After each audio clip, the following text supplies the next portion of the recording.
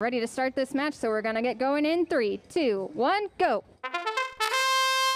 Robots rushing to the center of the field, and Autonomous looks like 785X has just grabbed one of the neutral goals and dragged it back to their side of the field. 11476A seems to have done the same and has grabbed the Red Alliance mobile goal. That signals the end of Autonomous. Looks like the Red Alliance got it, so we are going to go on to Teleop in three, two, one, go. 785X grabbing one of those mobile goals and bringing it back to their side of the field. 4478D grabbing the tall mobile goal and putting some rings onto their Alliance mobile goal.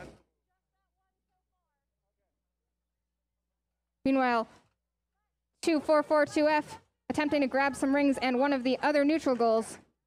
But 11476A is going to fight him for it. Looks like 785X has two mobile goals in their possession. 4478D has just placed the tall mobile goal onto the Blue Alliance platform.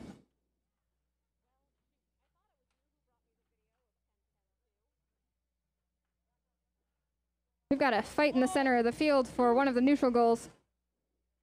2442F attempting to get it out of the possession of 11476. 4478D grabbing one of the Blue Alliance mobile goals and attempting to score some extra rings onto it.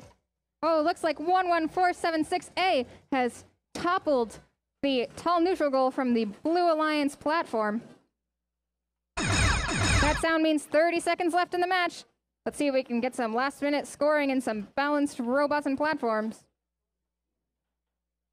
Looks like 785X is balanced on their platform with one mobile goal Eh, of the Alliance and one neutral goal. Looks like 11476A has placed another one of the Alliance goals onto the platform as well. Meanwhile, the Blue Alliance has two highly scored Alliance goals on their platform.